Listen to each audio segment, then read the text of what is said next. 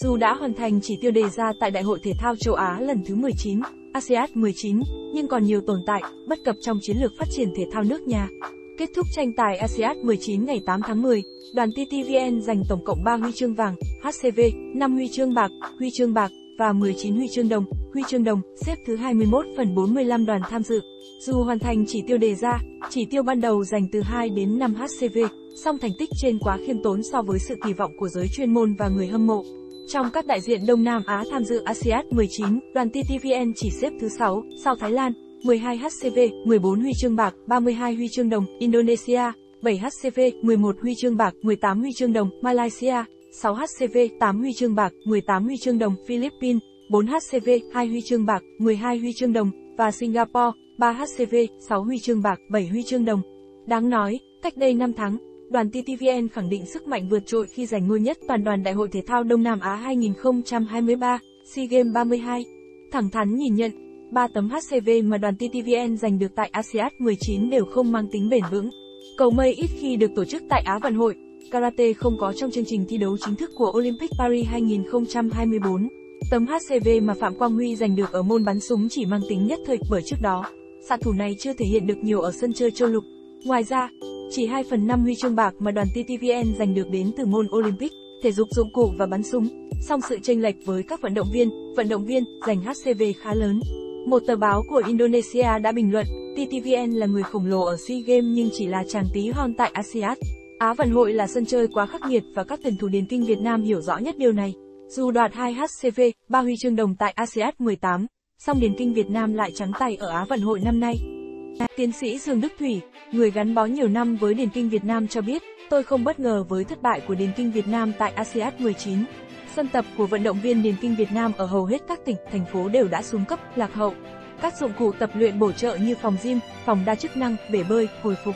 kém hoặc không có, dinh dưỡng cho vận động viên chưa được bảo đảm một cách khoa học. Điều kiện tập luyện như vậy thật khó để các vận động viên điền kinh Việt Nam vươn tầm ASEAN và Olympic. Đã đến lúc điền kinh Việt Nam cần thay đổi cách thức quản lý, vận hành và phát triển. Khó trong xây dựng môn trọng điểm đánh giá về sự sa sút của TTVN tại ASEAN 19, ông Đặng Hà Việt, Cục trưởng Cục Thể dục Thể thao, Bộ Văn hóa, Thể thao và Du lịch, phân tích, kết quả trên đã nằm trong dự báo. Chỉ có số ít vận động viên Việt Nam tham dự ASEAN 19 đạt đẳng cấp thế giới, nhưng xác suất giành huy chương bị tác động bởi nhiều yếu tố. Trường hợp vận động viên Nguyễn Thị Thật từng vô địch châu Á và giành vé dự Olympic môn đua xe đạp đường trường, nhưng không may chấn thương nên về thứ tư là ví dụ.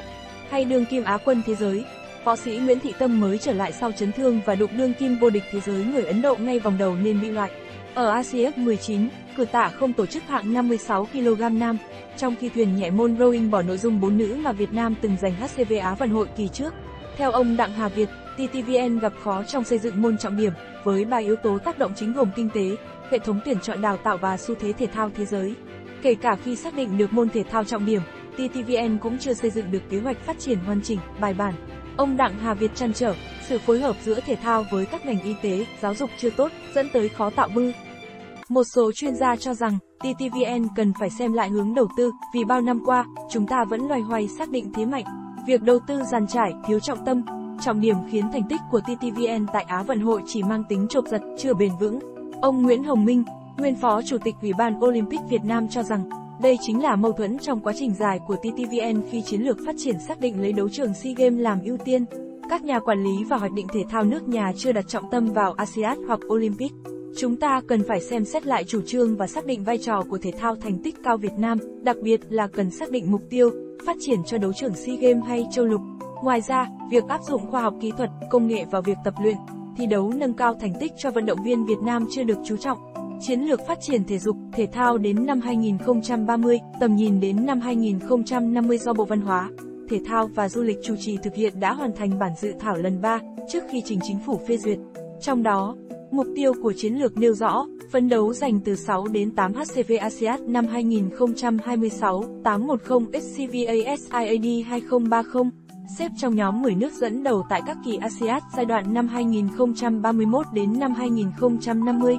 Tuy nhiên, ngay cả khi chúng ta hoàn thành được mục tiêu trên của chiến lược thì vẫn chưa bằng thành tích của thể thao Thái Lan ở hiện tại. Trong khi đó, thành tích trồi sụt ở ASEAN 19 khiến nhiều người lo lắng tính khả thi về mục tiêu có huy chương của TTVN tại Olympic Paris 2024. Đoàn thể thao Trung Quốc xếp số 1 chung cuộc trên bảng tổng sắp huy chương ASEAN 19 với 201 HCV, 111 huy chương bạc, 71 huy chương đồng, lập kỷ lục giành nhiều HCV nhất trong một kỳ Á vận hội, kỷ lục cũ do đoàn Trung Quốc nắm giữ với 199 HCV tại ASEAN 16.